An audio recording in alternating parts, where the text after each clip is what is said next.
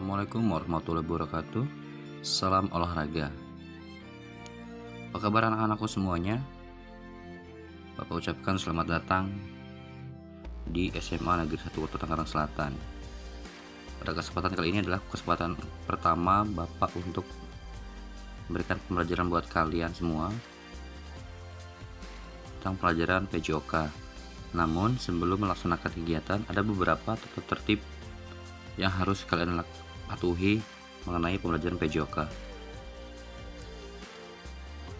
Berikut tata tertib yang harus kalian ikuti di sekolah SMA 1 Negeri Kota Tangerang Selatan. Yang pertama, wajib menggunakan seragam olahraga. Pada saat KB nanti berlangsung atau pembelajaran daring, wajib menggunakan seragam olahraga semuanya tanpa terkecuali. Kemudian pada saat pembelajaran normal nanti, pada saat KBM dilarang terlambat dalam pembelajaran. Yang ketiga, apabila berhalangan hadir, harus melaporkan ke guru kelas atau guru piket. Selanjutnya, bagi siswa yang berhalangan hadir, diharapkan untuk membuat surat keterangan yang ditandatangani oleh orang tua atau wali. Selanjutnya, untuk surat keterangan tanpa tanda tangan orang tua piket dianggap tidak sah. Harus tanda tangan asli Ketidakhadiran tanpa keterangan tanpa keterangan lebih dari tiga kali mengurangi nilai. Wajib menggunakan sepatu dan kaos kaki dengan aturan sesuai. Di sekolah kita sepatunya wajib warna hitam, kaos kakinya warna putih. Terkecuali hari Rabu. Hari Rabu kaos kakinya warna hitam. Jadi wajib menggunakan sepatu hitam polos bertali. Next, siswa yang melanggar peraturan atau tata tertib di atas dengan sengaja maka akan diberikan sanksi. Ada teguran 1 sampai 2 3 kali.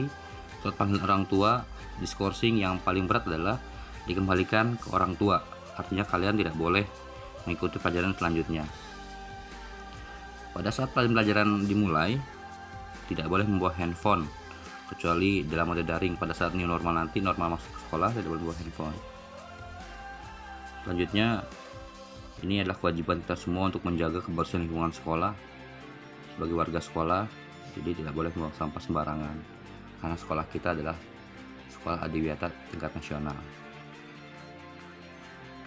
Nah, di sini ada beberapa tugas yang harus kalian kerjakan nanti mungkin kalian uh, upload ya.